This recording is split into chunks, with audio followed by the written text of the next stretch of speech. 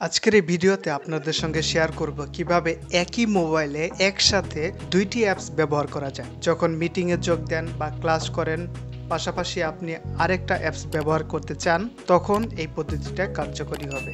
গুগলে সার্চ করে জানা গিয়েছে এই অপশনটা অ্যান্ড্রয়েড ভার্সন সেভেন বা তার উপরে যত অ্যান্ড্রয়েড ভার্সন আছে, সেগুলোতে কাজ করবে। যেমন দেখতে পাচ্ছেন, আমার জুম অ্যাপসটা চালু আছে, অর্থাৎ আমি একটা মিটিংয়ে যোগ দিয়েছি। সেই মিটিংয়ে যোগ দেওয়া অবস্থায় আমি অন্য একটা অ্যাপস ব্যবহার করব। এজন্য আমাকে প্রথমে কি করতে হবে? ওভারভিউ বাটনে ট্যাপ করতে হবে। এটাকে রিসেন্ট অ্যাপস দেখার বাটন বলা হয়, এই চারকোনা বাটনটা। এরপর এই ডিসপ্লে দেখতে পাবেন। অ্যাপসের উপরের আইকনে ট্যাপ করলে স্প্লিট স্ক্রিন এই লেখা সহ এই চিহ্নটা পাবেন।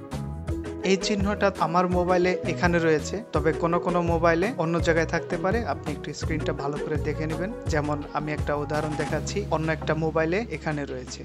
সেখানে ট্যাপ করার পর নিচে থেকে অ্যাপস ওপেন হবে। আপনি দেখতে চান, সেই অ্যাপসে ট্যাপ করুন। এখন দেখতে পাচ্ছেন দুটো অ্যাপস পাশাপাশি একসাথে চালাতে পারছি।